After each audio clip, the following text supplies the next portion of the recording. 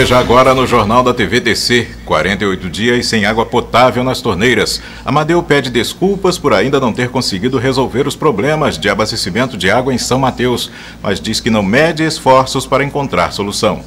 Paulo Roberto reafirma acordo para manutenção do Hospital Maternidade. Secretário esclarece que o CREDE São Mateus não vai fechar. Políticos e representantes de associações prestigiam deputado Freitas em prestação de contas. E tem o um destaque policial. Mulher é agredida em festa e perseguida pelo ex-namorado.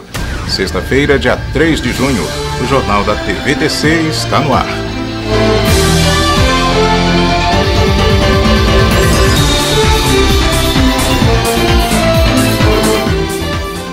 Boa tarde. Uma reunião hoje entre representantes da Secretaria Estadual da Saúde e do Conselho de Secretários Municipais de Saúde define a data de início da retomada da vacinação contra a gripe em todo o estado. As 150 mil doses de vacina adquiridas pelo governo do estado chegaram ontem pela manhã à Vitória, segundo a assessoria de comunicação da CESA. As doses serão disponibilizadas aos 78 municípios capixabas, com o objetivo de atingir 100% do grupo prioritário. Na segunda-feira, uma primeira reunião com o Conselho de Secretários Municipais de Saúde definiu que a vacinação será realizada em crianças de seis meses a menores de 5 anos de idade, gestantes, mulheres no período até 45 dias após o parto e pessoas com 60 anos ou mais. A chegada da vacina ao Estado aconteceu com um dia de antecedência à previsão inicial. A assessoria da CESA destaca que inicialmente as doses são enviadas às superintendências regionais, de onde são recolhidas pelos municípios. A coordenadora do Programa Estadual de Imunização, Daniele Grillo, explica que o Espírito Santo ultrapassou a meta de vacinação definida pelo Ministério da Saúde e imunizou mais de 94% de pessoas do público prioritário.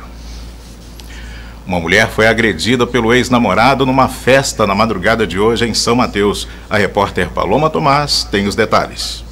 A mulher relatou à polícia que namorava o acusado haviam três meses e que após o término do namoro ele começou a fazer ameaças de morte. A vítima disse que estava em uma festa no centro da cidade e que o ex-namorado apareceu descontrolado, exigindo que ela o acompanhasse. Como se recusou, o homem agrediu a mulher na perna esquerda com um bastão de madeira e depois quebrou várias partes da moto dela. Após a agressão, ele seguiu a vítima até a rua onde ela mora, mas fugiu ao perceber a aproximação de uma viatura policial. Segundo a vítima, essa não é a primeira vez que é agredida pelo acusado. Paloma Tomás para o Jornal da TVTC. Obrigado, Paloma.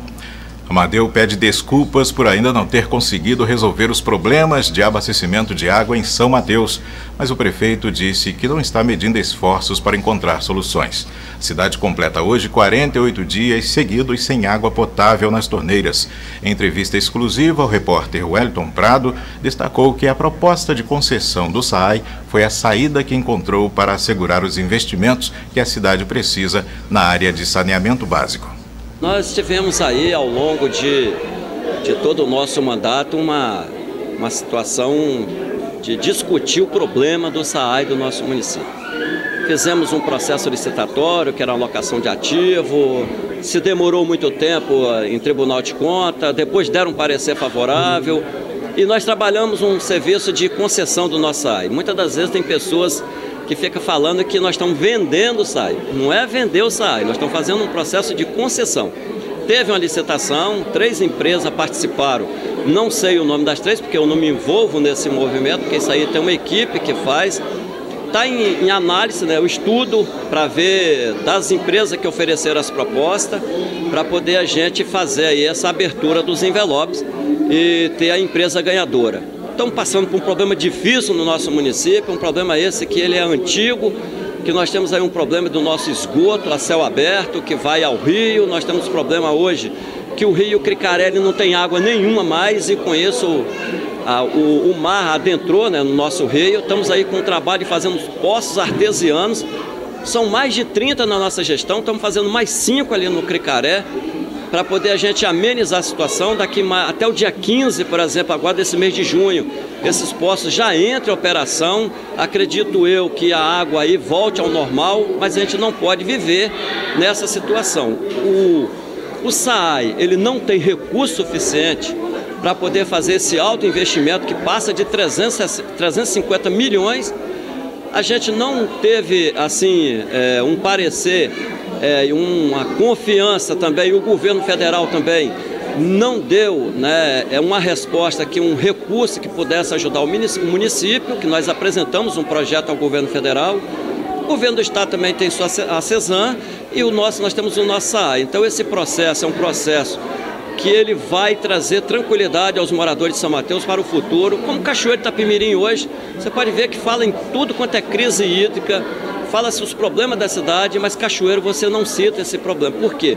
Porque lá foi feita a concessão, hoje 98% do esgoto lá é tratado e aqui 97% do nosso esgoto ainda vai para o rio e aí nós temos esse problema. Então nós temos uma captação de água no local inadequado, nosso problema da água que está com problema de sal hoje, porque adentrou a água do mar. Então esse processo licitatório, que é uma concessão do nosso AI, está em fase aí já de estudo, daqui uns 30 dias aproximadamente, ou 40 ou 50 dias, depende da, dos técnicos que estão analisando, para a gente dar uma resposta à nossa população. Mas enquanto isso, estão trabalhando para melhorar a nossa qualidade da nossa água, que hoje a população está sofrendo, onde eu quero pedir desculpa à nossa população, que nós não resolvemos até agora, mas estamos tentando.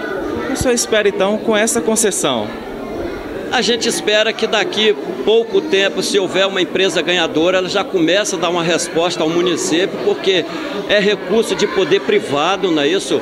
Eles têm esse recurso, eles buscam empréstimo a banco, BNDES, existe um consórcio de empresas para esses, esses, é, esses negócios e eles dão uma resposta imediata, porque eles têm que fazer um local adequado, arrumar água doce de qualquer jeito para poder atender a população. Ou que seja fazer o tratamento dessa água que é salgada e passar a ser doce, né, que é o desalinizador. Isso tem no processo. Isso tudo é uma resposta. Agora, enquanto isso, a gente está trabalhando para poder dar é, uma tranquilidade maior à nossa população. E a concessão vai ser um papel importante no município, porque nós estamos acima de 120 mil habitantes e esse problema do SAI ele é muito antigo, nosso SAI é muito arcaico. É, de forma emergencial, é possível é, colocar alguns caminhões-pipas para abastecer a, a, cidade nesse período, agora que está de salinização? Pois é. é para você ter uma ideia, nós estamos hoje com 12 caminhões-pipa. É, quatro cedidos pelo governo, três que está funcionando com aquele sistema de caixa d'água que nós acoplamos em cima dos carros da prefeitura e temos mais cinco alugados. Então você vê que nós estamos com 12. Mas nós estamos com um problema, não é somente a cidade. Nós temos um problema no nosso interior. O interior não tem água. Então agora nós resolvemos o problema da Paulista, que nós fizemos um poço artesiano, então nós não estamos mais com esses caminhões lá mais. Os vilages também, fizemos mais um poço artesiano, está entrando em operação, vamos tirar os caminhões de lá também. Santa Maria, fizemos um poço artesiano, vai descer a bomba agora, vai resolver o problema de Santa Maria, mas não com uma quantidade de água necessária, uma quantidade menor, mas pelo menos tem uma garantia de água. Nova Imorés, que é o quilômetro 35, também descendo a bomba, agora já está amenizando aquela situação. Esses carros que estavam fazendo né, essas comunidades, automaticamente ele volta para a cidade também, porque aqui nós temos é, a gente tem uma dificuldade, nós estamos com água salgada. E esses locais nem isso tinha. Então nós estamos passando um momento difícil, que é o momento hídrico né, do, nosso, do nosso estado, a região aqui de Minas também. Ontem eu estava olhando, acompanho todos os dias, de noite, de manhã cedo, como está o sistema para ver se chove. Mas a gente vê aquela parte ali do mapa, né, aquele clarão em tudo em amarelo, que a gente vê que não tem previsão de chuva. A gente tem que pedir muito a Deus para que isso se resolva, mas enquanto isso a gente está trabalhando em prol né, de resolver um problema, sabendo que ele está demorando e a população está né, tá tendo uma compreensão, mas a gente sabe que nós temos muitas pessoas acamadas, muito idoso, muita criança, e isso é ruim. E a mulher também, quando quer lavar um cabelo, água salgada é terrível. E a água doce, a gente espera daqui mais uns, até o dia 15, a gente dá uma resposta, onde eu quero pedir desculpa mais uma vez à nossa população. Confira agora a previsão do tempo para a tarde de hoje em São Mateus e região. Sexta-feira de sol com muitas nuvens. Podem ocorrer pancadas de chuva à tarde e à noite. Temperatura mínima de 21 e máxima de 31 graus. Em Pinheiros pode chover, mínima de 19 e máxima de 30 graus.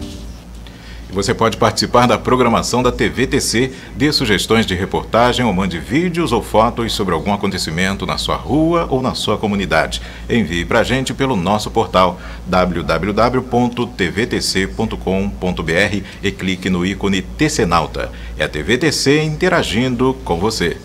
E veja depois do intervalo, Paulo Roberto reafirma acordo para manutenção do Hospital Maternidade. Secretário esclarece que o CREDE São Mateus não vai fechar.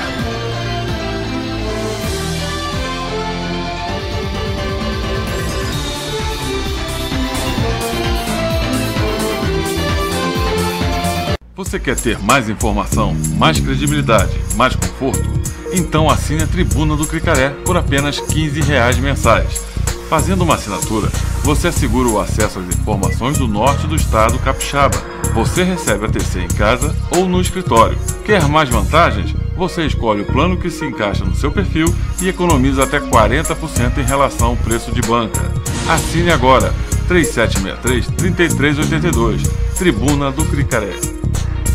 Coloque suas ideias no papel e a Gráfica Boroto é a solução para os seus impressos.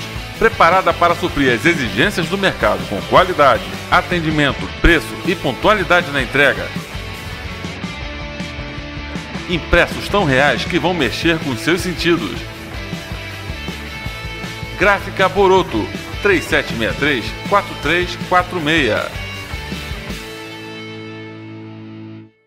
Cuide da cidade que você gosta. Não jogue entulho na rua e nem terreno baldio. O município foi notificado para se adequar à legislação federal e assinou o TAC, Termo de Ajustamento de Conduta, junto ao Ministério Público. Por lei, a prefeitura não pode mais recolher lixo hospitalar e entulhos. Ela é responsável somente pela coleta do lixo domiciliar, aquele que é produzido em casa. Quem executa obras, reformas e demolições, poda árvores ou possui clínicas, farmácias, hospitais e similares, deve também fazer a destinação correta desses resíduos, contratando uma empresa especializada. Jogue limpo com a cidade, não jogue mais entulho na rua e nem despeje em terreno baldio. Providencie você mesmo a coleta. Prefeitura de São Mateus.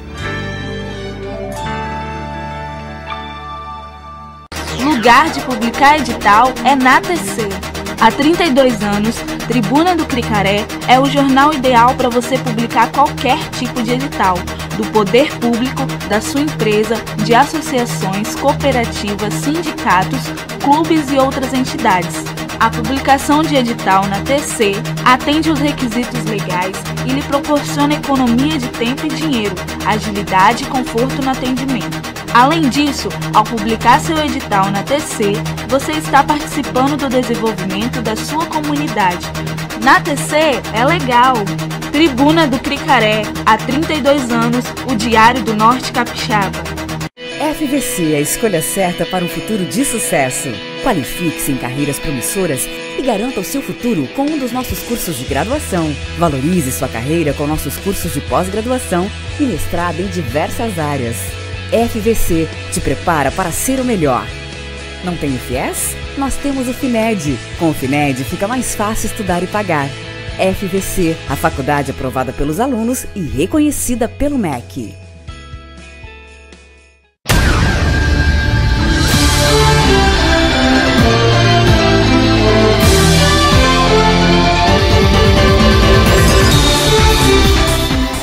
Secretário-chefe da Casa Civil, Paulo Roberto Ferreira, garante que o governo do estado cumpriu tudo o que foi acordado com a direção do Hospital Maternidade São Mateus em 2015.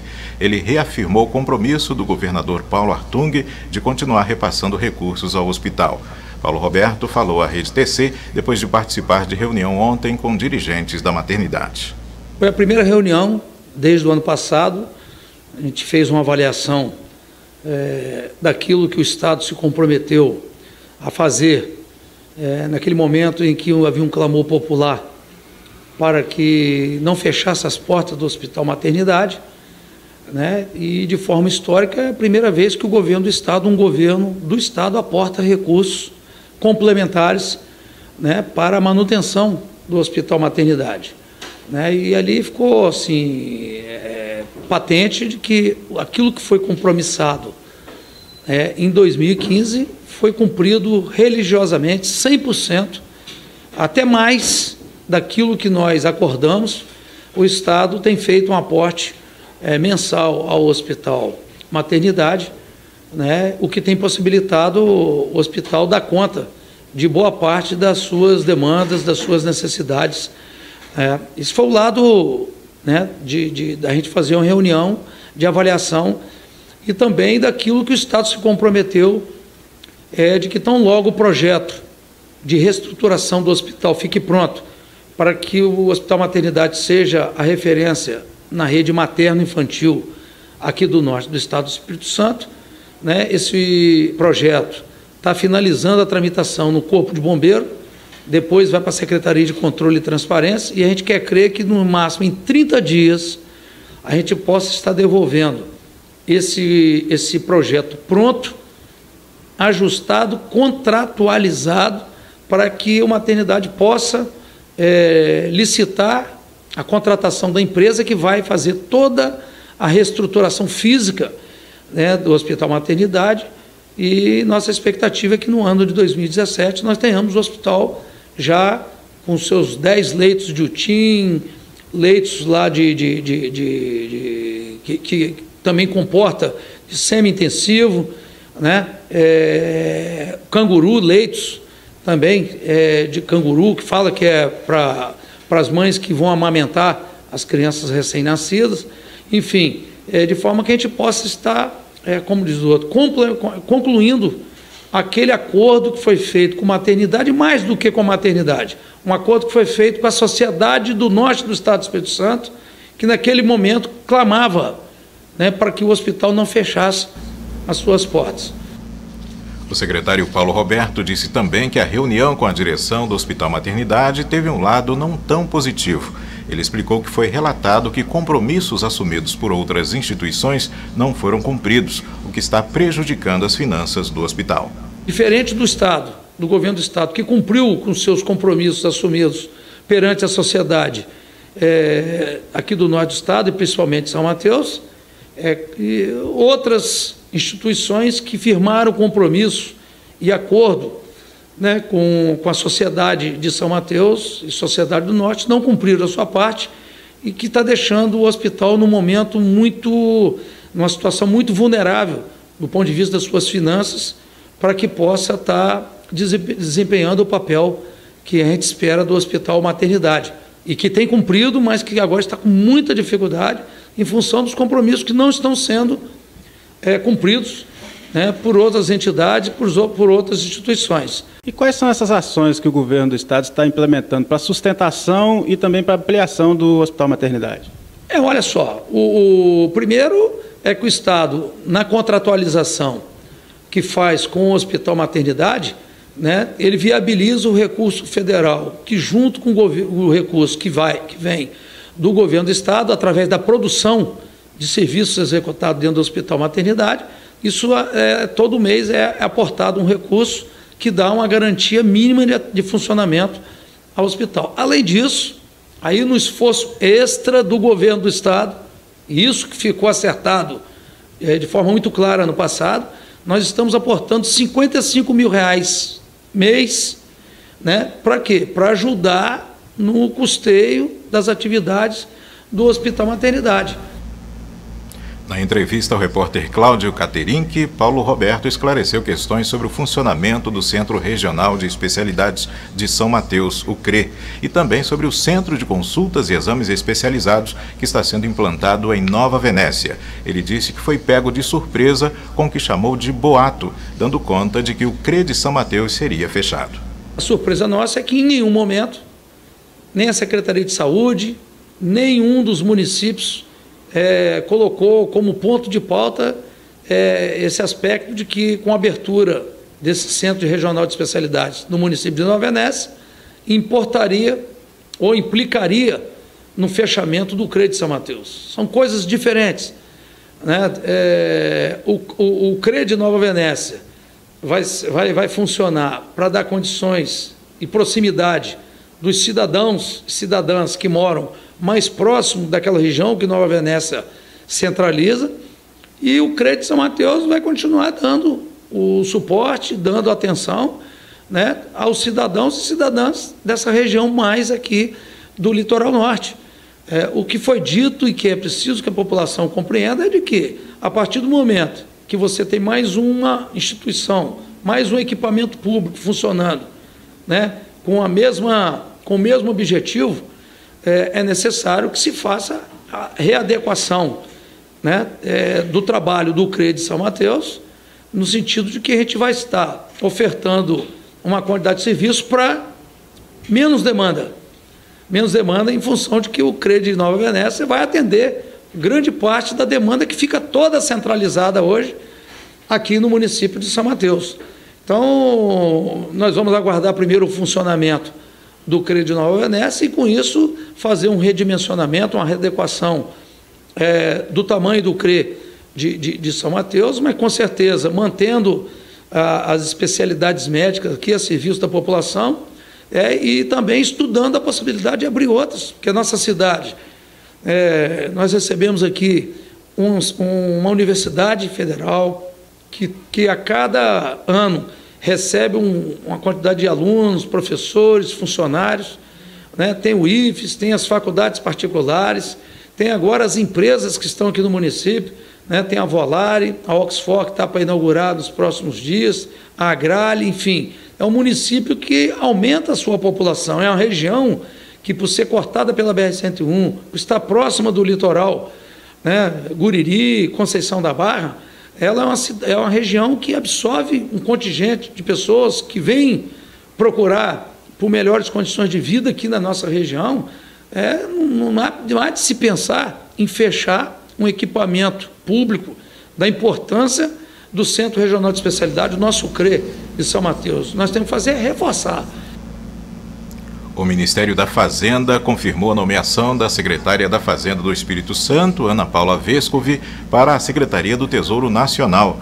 O atual secretário, Otávio Ladeira, servidor de carreira do órgão, será o secretário adjunto. Na Secretaria Estadual da Fazenda, Ana Paula Vescovi atuou na elaboração do projeto de lei complementar da renegociação da dívida dos estados. No Tesouro Nacional, ela vai atuar nas negociações para simplificar a proposta enviada ao Congresso Nacional no fim de março. O governador Paulo Artung anunciou que a advogada e economista Cristiane Mendonça vai assumir interinamente a Secretaria da Fazenda em substituição a Ana Paula Vescovi. E você vai ver depois do intervalo, CREA realiza em São Mateus o nono encontro estadual de profissionais do Espírito Santo.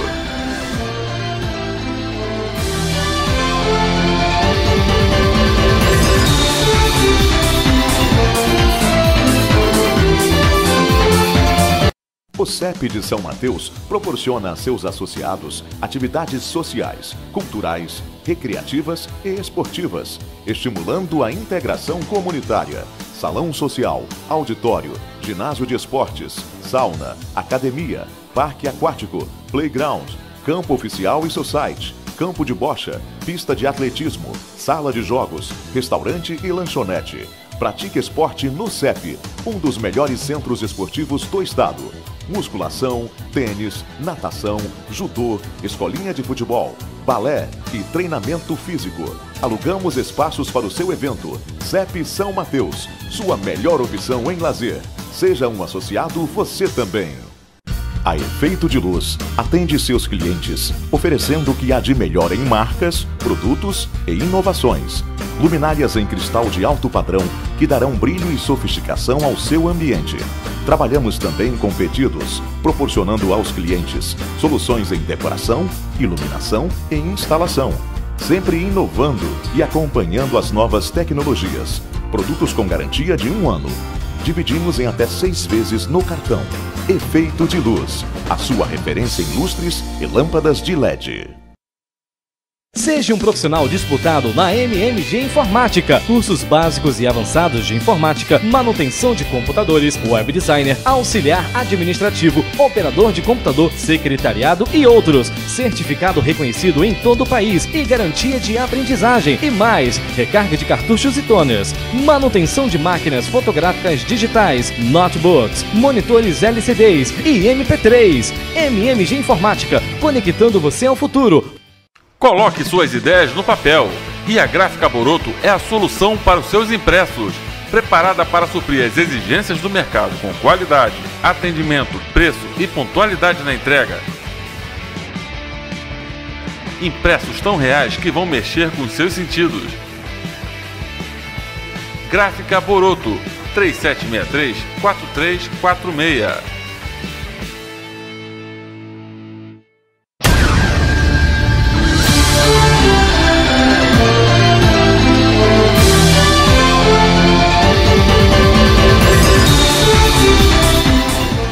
Baixe o aplicativo da TVTC e acompanhe a nossa programação do seu smartphone ou tablet onde você estiver. Aplicativo já disponível na Play Store para o sistema Android e em breve também para o sistema iOS na Apple Store. TVTC, a televisão da gente. O CREA realizou ontem em São Mateus o nono Congresso Estadual de Profissionais. Este ano o tema foi o Sistema Confeia CREA e Mútua em Defesa de Engenharia e Agronomia Brasileira. O Congresso Microrregional, promovido pelo Conselho Regional de Engenharia e Agronomia do Espírito Santo, tem o objetivo de discutir e propor políticas, estratégias e programas de atuação. O tema central do encontro, que está na nona edição, foi o sistema com fé, CREA e mútua em defesa da engenharia e agronomia brasileira. Iremos colher proposta, é, é para isso que nós estamos reunidos com os profissionais representativos, com as lideranças de várias profissões da Inspetoria de São Mateus, que é a Inspetoria do Norte, que congrega mais de 2 mil profissionais. Irá tirar daqui 24 eh, delegados, sendo 15 com mandato e, e 9 sem mandatos, e fazer hoje um brainstorm das propostas que depois iremos discutir lá em Vitória, no Congresso Estadual. Os participantes concorreram a uma viagem para participar da 73ª Semana Oficial da Engenharia e da Agronomia em Foz do Iguaçu, no Paraná. O presidente do CREA Espírito Santo ficou satisfeito com a participação de profissionais da região. Excelente. A inspetoria era tem São Mateus, que é o centro, né, que é a inspetoria a sede, tem as inspetorias adjuntas, que nós temos é, Jaguaré, temos Conceição da Barra, temos o município de Nova Venécia, temos também o município de Pedro Canário, que está no entorno é, do município de São Mateus. Helder explica que as propostas aprovadas serão levadas para o Congresso Nacional de Profissionais. É, sistematizaremos todas para que possamos levar ao Congresso Estadual e lá sistematizar e fazer um documento único com todas as regionais, com todas as inspetorias que tem o Estado do Espírito Santo, para tentar fazer um documento formatado e levar como proposta de alteração de projeto de lei, que é a Lei 5.194, que é a nossa Bíblia que, que comanda o nosso sistema com FECRE e mútua, e com isso é, melhorar a relação entre sociedade profissional, a engenharia brasileira que precisa é, muitas, mudanças, nós passamos por momentos muito difíceis, tanto na parte de segurança política, como na parte de segurança jurídica, como na parte de segurança é, é, de execuções de obras que não, não obedecem às boas práticas da engenharia é, em diversos é, setores de órgãos, tanto municipais, estaduais e federais. O deputado Freitas realizou agora há pouco a prestação de contas das ações de mandato referentes ao ano passado. A cerimônia foi realizada na sede da CDL, no bairro Boa Vista. Autoridades, lideranças políticas, empresariais e comunitárias e representantes de associações, cooperativas e instituições sociais de educação prestigiaram a prestação de contas que Freitas realiza pelo nono ano seguido nós estamos vivendo e prestando conta em tempos difíceis. Mas eu não poderia deixar de apresentar para a sociedade do Norte é, aquilo que foi um modelo que nós identificamos e escolhemos para a nossa caminhada na atividade de vida pública eletiva, prestar contas. Prestar contas, eu identifico que é um dever cívico do detentor de mandato. Então, desde o primeiro momento que tomamos, tomamos posse, lá em 2007, nós estabelecemos esse modelo. E no atual momento, eu preciso confessar para vocês que precisava ter muita coragem diante do grande desafio do detentor de mandato se apresentar para a sociedade como um todo. Mas não cabe é, o medo prevalecer em cima da coerência, em cima da ética, em cima da credibilidade, em cima da reputação. Momentos como esse são muito saudáveis, porque o parlamentar, caso o deputado Freitas do nosso partido, que nos orgulha muito, abre as portas do seu mandato para dizer o que está fazendo. E abre as portas para um diálogo, para ser cobrado. Aqui as pessoas vão poder dizer, Freitas, eu gostei disso e não gostei disso. É a melhor maneira, porque ele mostra uma transparência, um compromisso e uma possibilidade de se comunicar com as pessoas. Pessoas dizerem do que estão gostando e do que não estão gostando, para que ele possa acertar o rumo e o prumo e fazer uma contribuição, como já faz, para não só para a cidade de São Mateus. Ele é representante do extremo norte capixaba é, na Assembleia Legislativa, é representante do Estado do Espírito Santo para nós do PSB. Então nós estamos felizes. O Jornal da TVDC mostra a cobertura completa da cerimônia de prestação de contas do deputado estadual Freitas logo mais na edição das sete da noite. Esta edição está terminando. Você pode rever as reportagens de hoje acessando o nosso portal www.tvtc.com.br/vídeos. TVTC, a televisão da gente. Uma boa tarde para você.